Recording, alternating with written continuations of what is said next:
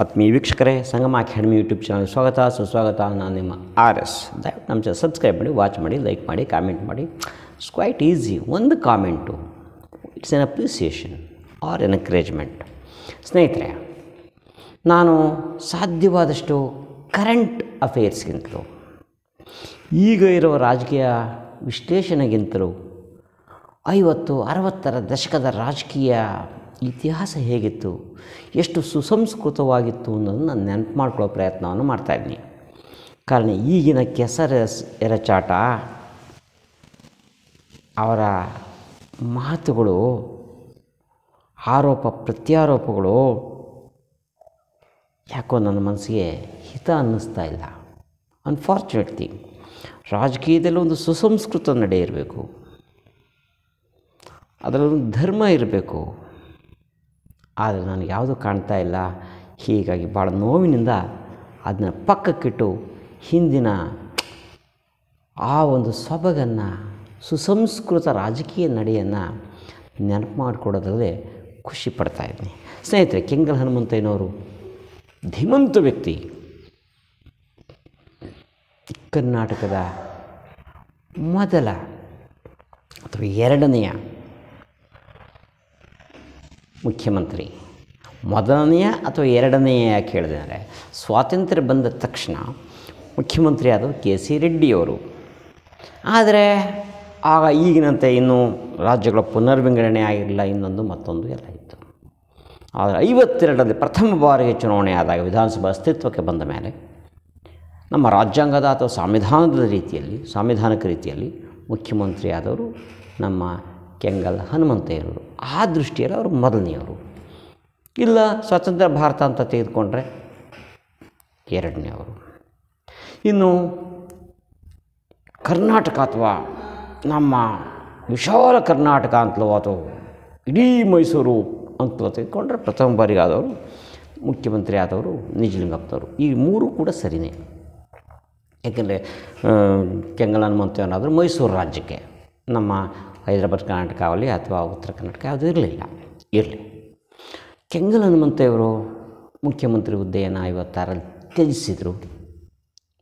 ಹಾಗಂತ ಅವರು ಸುಮ್ಮನಿರಲಿಲ್ಲ. ಅರವತ್ತೆರಡು, ಅರವತ್ತೇಳು, ಎಪ್ಪತ್ತೊಂದರಲ್ಲಿ ಅವರು ಎಪ್ಪತ್ತೆರಡರಲ್ಲಿ ಎಂ ಪಿ ಆದರು. ಅಂದರೆ ಲೋಕಸಭಾದ ಸದಸ್ಯರಾದರು. ಇಂದಿರಾಜಿಯವರ ಸಂಪುಟದಲ್ಲಿ ರಜೆ, ರೈಲ್ವೆ ಸಚಿವರಾಗಿದ್ದರು.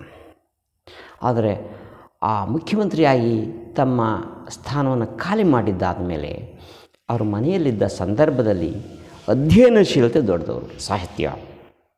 ಅದರಲ್ಲಿಯೂ ಕೂಡ ರಾಮಾಯಣ, ಮಹಾಭಾರತವನ್ನು ಭಾಳ ಸಾದಂತವಾಗಿ ಡಿಟೈಲಾಗಿ ಓದುವಂಥ ದೊಡ್ಡ ಹವ್ಯಾಸ. ಹಾಗೆಯೇ ಅದನ್ನು ಮಕ್ಕಳಿಗೂ ಕೂಡ ತಲುಪಿಸ್ಬೇಕು ಅನ್ನೋದು ಅವ್ರ ಮನಸ್ಸಿನಲ್ಲಿ ಮುಖ್ಯಮಂತ್ರಿ ಆದಾಗಲೇ ಇತ್ತು. ಹೀಗಾಗಿ ಮುಖ್ಯಮಂತ್ರಿ ಆಗಿದ್ದಾಗಲೇ ಕನ್ನಡ ಮತ್ತು ಸಂಸ್ಕೃತಿ ಇಲಾಖೆಯನ್ನು ಅವರು ಜಾರಿ ತಂದರು ಇಂಟ್ರಡ್ಯೂಸ್ ಮಾಡಿದರು. ಕನ್ನಡ ಮತ್ತು ಸಂಸ್ಕೃತಿ ಇಲಾಖೆ ಅದಕ್ಕೊಂದು ಖಾತೆ ಅದಕ್ಕೊಬ್ಬ ಸಚಿವರು. ಸಚಿವರು ಅಂದರೆ ಯಾರೊಬ್ಬ ಸಚಿವರು ಅದೊಂದು ಸೇರಿಕೊಳ್ತಿತ್ತು ಇಷ್ಟರ ಮಟ್ಟಿಗೆ ಮತ್ತು ಕನ್ನಡ ಅವರು ಕನ್ನಡ ಮತ್ತು ಸಂಸ್ಕೃತಿ ಇಲಾಖೆಯನ್ನು ಬೆಳೆಸಬೇಕು, ಉಳಿಸ್ಬೇಕು ಅನ್ನೋದಕ್ಕೆ ಶ್ರಮಿಸಿದವರು ಈಗ ಅವ್ರ ವಿಷಯಕ್ಕೆ ಬರ್ತೀನಿ. ಅವರು ಮುಖ್ಯಮಂತ್ರಿ ಹುದ್ದೆಯಿಂದ ಹೇಳಿದ್ರು. ಅವರ ಮನೆ ಅಲ್ಲೇ ಗೊಲ್ಲರಪಾಳ್ಯ ಅಂತ ಇದೆ. ಏನು ಕೋಟೆ ಹೈಸ್ಕೂಲ್ ಇದೆಯಲ್ಲ, ಅಲ್ಲಿ ಭಾಳ ಸಮೀಪನೇ ಭಾಳ ಇದ್ದರು ಗೊಲ್ಲರಪಾಳ್ಯ. ಅಲ್ಲಿ ಅವರ ಮನೆ ಆಗ. ಅವರು ಮಕ್ಕಳಿಗೆ ಬೋಧನೆ ಮಾಡಬೇಕು. ಸಂಸ್ಕೃತಿ ಬಗ್ಗೆ, ಸಾಹಿತ್ಯದ ಬಗ್ಗೆ ಅನ್ನುವ ಪ್ರಬಲವಾದ ಇಚ್ಛೆ, ಮಹದಾಸೆ, ಮಹತ್ವಾಕಾಂಕ್ಷೆ. ಹೀಗಾಗಿ ಕೋಟೆ ಹೈಸ್ಕೂಲ್ಗೆ ಹೋಗಿ ಪ್ರತಿ ಶನಿವಾರ ಮಕ್ಕಳಿಗೆ ಕನ್ನಡ ಭಾಷೆ, ಸಂಸ್ಕೃತಿ, ಸಾಹಿತ್ಯ ಕುರಿತು ಹೇಳ್ತಾಯಿದ್ರು ಬರೀ ಭಾಷಣ ಅಲ್ಲ, ಅವರೇ ವಿಶ್ಲೇಷಣೆ ಮಾಡ್ತಾಯಿದ್ರು ನೀವು ಚೆನ್ನಾಗಿ ಓದಬೇಕು ಅಂತಲೋ ಸುಸಂಸ್ಕೃತರಾಗಬೇಕು ಅಂತಲೋ ಅಲ್ಲ, ಸಾಹಿತ್ಯವನ್ನು ಬೋಧಿಸ್ತಾ ಇದ್ದರು ಅಷ್ಟು ಶ್ರೀಮಂತಿಕೆ ಅವರಲ್ಲಿತ್ತು ಸಾಹಿತ್ಯದ ಶ್ರೀಮಂತಿಕೆ.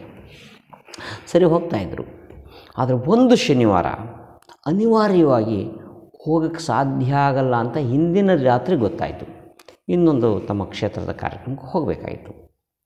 ಹೋಗ್ಬೋದಾಯ್ತು. ಬೆಳಗ್ಗೆ ದೊಡ್ಡಪಾಡಿಗೆ ಅವ್ರು ಹೋಗಿದ್ದರೆ ಹೆಡ್ ಮಾಸ್ಟರ್ ಯಾರನ್ನ ಕಳಿಸ್, ನೋಡೋರು ಒಂದು ನಿಮಿಷ, ಎರಡು ನಿಮಿಷ, ಯಾಕೋ ಕೆಂಗಲ್ ಬರಲಿಲ್ಲ ಅಥವಾ ಹನುಮಂತಯ್ಯರು ಬರಲಿಲ್ಲ ಅಂತ ವ್ಯವಸ್ಥೆ ಮಾಡೋರು. ಇವರು ಹಾಗೆ ಮಾಡಲಿಲ್ಲ. ಬೆಳಗ್ಗೆ ಎದ್ದರು ಒಂದು ಪತ್ರವನ್ನು ಬರೆದ್ರು. ಯಾರಿಗೆ? ಹೆಡ್ ಮಾಸ್ಟ್ರಿಗೆ ಮುಖ್ಯೋಪಾಧ್ಯಾಯರೇ ಕೋಟೆ ಹೈಸ್ಕೂಲು, ಬೆಂಗಳೂರು. ನಾನು ಪ್ರತಿ ಶನಿವಾರ ಹೀಗೆ ತರಗತಿಯನ್ನು ತೆಗೆದುಕೊಳ್ತಾ ಇದ್ದೆ. ಆದರೆ ಈ ದಿನ ತುರ್ತು ಕಾರ್ಯ ನಿಮಿತ್ತ ನಾನು ಶಾಲೆಗೆ ಬರಲು ಸಾಧ್ಯವಾಗುತ್ತಿಲ್ಲ. ಬೋಧನೆಯಲ್ಲಿ ತೊಡಗಿಸಿಕೊಳ್ಳಲು ಸಾಧ್ಯವಾಗುತ್ತಿರಲಿಲ್ಲ. ಕ್ಷಮೆ ಇರಲಿ. ಆದರೆ ಈ ದಿನ ನನಗೊಂದು ದಿನ ರಜಾ ಎಂದು ಪರಿಗಣಿಸುವುದು ಅಂತ ಬರೆದು, ಅದೇ ರಸ್ತೆಯಲ್ಲಿ ಒಬ್ಬ ಹುಡುಗ ಶಾಲೆಗೆ ಹೋಗ್ತಾ ಇದ್ದ. ಅವನನ್ನು ಕರೆಸಿದ್ರು.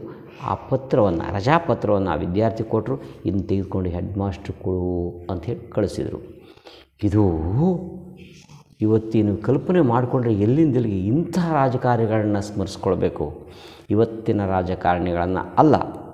ಈ ಕಾರಣಕ್ಕಾಗಿ ನಾನು ಹಳೆಯ ರಾಜಕಾರ್ಯಗಳು, ಹಳೆಯ ರಾಜಕಾರಣಿಗಳು, ಅವ್ರ ತತ್ವ, ಸಿದ್ಧಾಂತ, ಬೆಳೆದ ಬಗ್ಗೆ ಹೇಳ್ತಾರೆ ನೆನಪು ಮಾಡ್ಕೊಳ್ಳೋದೇ ಒಂದು ಹೆಮ್ಮೆ ವಿಷಯ. ಆ ಮೂಲಕ ನಮ್ಮ ಯುವ ಜನತೆ ಇನ್ನೊಂದು ಸಾರಿ ಹಳೆಯ ರಾಜಕಾರಣಿಗಳನ್ನ ಮೆಲುಕಾಕ್ಬೋದು. ತತ್ವಾದರ್ಶಗಳನ್ನು ಸ್ವಲ್ಪ ಕೇಳಿಸ್ಕೋಬೋದು. ಅಳವಡಿಸ್ಕೊಳ್ಳೋದು ಬೇರೆ ವಿಷಯ. ಮೊದಲು ಕೇಳಿಸ್ಕೊಳ್ಳಿ. ರಿಪೀಟೆಡಾಗಿ ಕೇಳಿಸ್ಕೊಳ್ತಾ ಹೋದರೆ ಅದು ತಮ್ಮ ಜೀವನದಲ್ಲಿ ಅನುಕರಿಸ್ಕ ಅನುಕೂಲ ಆಗುತ್ತೆ ಅನ್ನೋದು ಸಣ್ಣ ಆಶಯ ಅನ್ನೋದು. ಹೀಗಾಗಿ ಕೆಂಗಲ್ ಹನುಮಂತಯ್ಯನವರ ಒಂದು ಎಪಿಸೋಡ್ ಹೇಳಿದ್ದೀನಿ. ಇನ್ನೊಂದಿದೆ. ಅವರು ಅದೆಷ್ಟು ಶುದ್ಧ ಪ್ರಾಮಾಣಿಕರು, ಸತ್ಯಶುದ್ಧರು. ಯಾವ ಕಾರಣಕ್ಕೂ ಅವರ ಶಿಸ್ತನ್ನು, ಸತ್ಯವನ್ನು, ಪ್ರಾಮಾಣಿಕತೆಯನ್ನು ಒಂದಿಷ್ಟು ಜರುಗಕ್ಕೆ ಬಿಡಲ್ಲ ಅಂತಹ ಸಂದರ್ಭ ಬಂದಾಗ ಪೀಠವನ್ನೇ ತ್ಯಾಗ ಮಾಡ್ತಾಯಿದ್ರು ಅನ್ನೋದನ್ನು ಇನ್ನೊಂದು ಎಪಿಸೋಡ್ನಲ್ಲಿ ಹೇಳ್ತೀನಿ. ಅದು ಭಾಳ ಚೆನ್ನಾಗಿದೆ. ಅಲ್ಲಿನವರೆಗೂ ನಮಸ್ಕಾರ. ದಯಮಾಡಿ ಹಳೆಯ ರಾಜಕಾರಣಿಗಳ ಬದುಕನ್ನು ಮತ್ತೆ ಮತ್ತೆ ನೋಡಿ. ಅವರ ಸತ್ಯಶುದ್ಧತೆ, ಕಾಯಕ ಯೋಗ. ಪ್ರಾಮಾಣಿಕತೆ, ದಕ್ಷತೆ ಇವೆಲ್ಲವನ್ನೂ ಕೇಳ್ತಾ ಇದ್ದರೆ ಸ್ವಲ್ಪ ಮಟ್ಟಿಗಾದರೂ ನಮಗೆ ನೆಮ್ಮದಿ ಸಿಗ್ತದೆ. ನಮಸ್ಕಾರ. ನನ್ನ ಚಾನಲ್ಗೆ ಸಬ್ಸ್ಕ್ರೈಬ್ ಮಾಡಿ, ಪ್ಲೀಸ್.